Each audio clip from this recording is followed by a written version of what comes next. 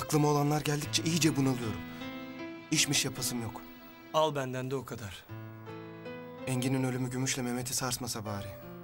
Niye sarsın ki? Aralarındaki çıban gitti. Çıktı hayatlarından işte. O kadar kolay değil. Gümüş'ü bilmiyor musun? Kız tam toparlandı derken bir de buna üzülecek. Sonuçta Engin'in ölümüne sebebiyet veren Gümüş. Olayları bu duruma getiren de Engin sapığı zaten. Hiç üzülmesin. Sevinsin bence.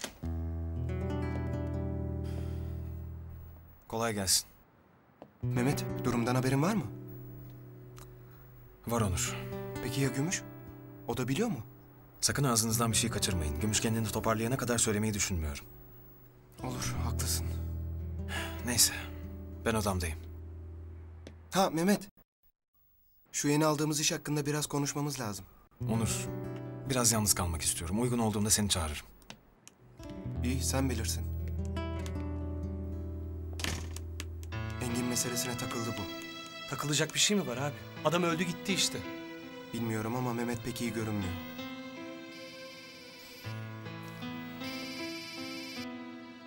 Efendim Pınar. Onur bugün doktora gideceğimizi unutma. Ben şimdi baharlara geçiyorum. Geç kalma canım. Tamam canım, tamam.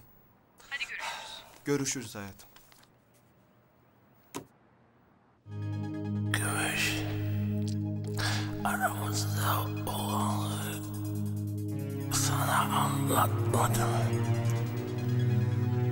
Ona sor Mehmet. Mehmet Bey? Sipariş ettiğiniz mücevher geldi. Teşekkürler. Rica ederim. Gümüş Hanım sizin gibi bir kocası olduğu için çok şanslı doğrusu.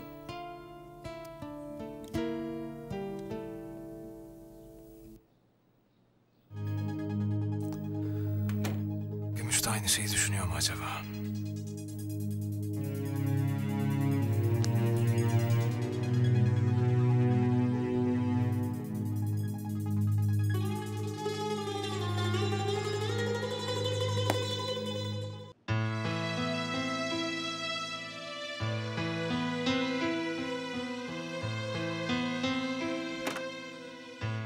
Mehmet ben çıkıyorum. Gökhanlarla beraber hastaneye gideceğiz.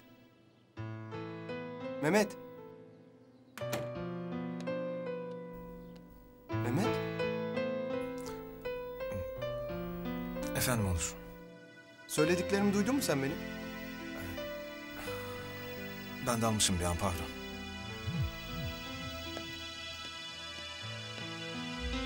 Senin bu halin hiç hoşuma gitmiyor. Çok dalgınsın bugünlerde. Engin'in ölümü mü sarstı seni bu kadar? Yok, alakası yok. Ee, sorun ne o zaman? Onur, boş ver. İşine bak sen tamam mı? Mehmet bak bu halin çok canımı sıkıyor benim.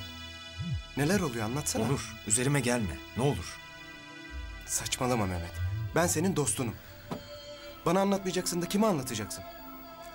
Ya öyle de Ben aynı şeyi sana yapsam, ha? Kızmaz mısın? Anlat hadi şunu.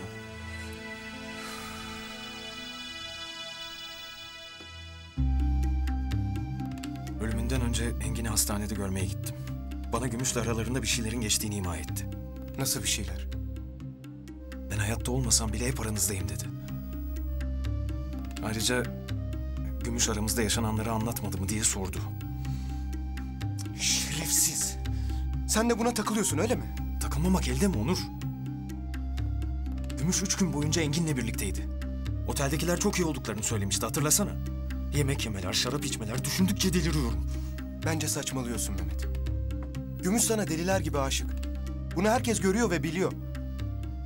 Böyle bir şey yapmaz Gümüş. Ama o zorla bile yapmış olabilir. Engin'in Kapadokya'da Gümüş'ü kapattığı mağara evini sen de gördün. Orada sanki bir şeyler olmuş gibiydi. Tecavüz gibi mi yani? Peki Engin neden yalan söylesin hem de ölmek üzereyken? Artık hayattan bir kazancı olmadığını bile bile.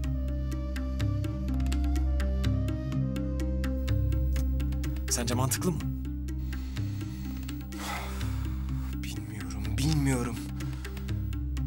Bu konuda yorum yapmasam daha iyi olur herhalde.